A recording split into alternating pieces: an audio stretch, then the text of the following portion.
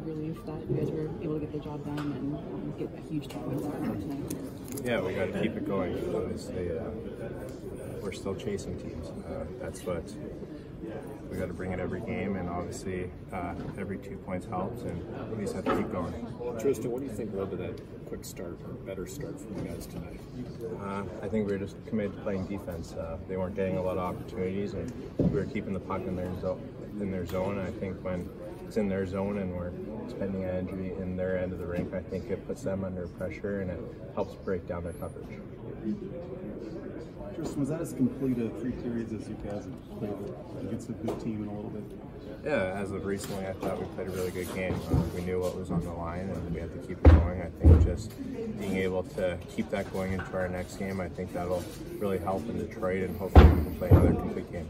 Tristan, how critical was it to just limit the damage on those two quick penalties in the third period? Obviously, they, they got one in on the five on three, but just uh, sort of stop the bleeding after one goal with, with them keeping on a five on four.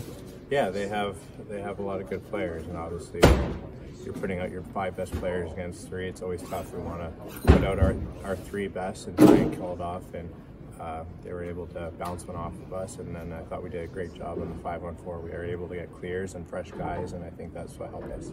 Tristan, you mentioned keeping that going against Detroit. How do you do that? How do you keep that carry this over into Saturday?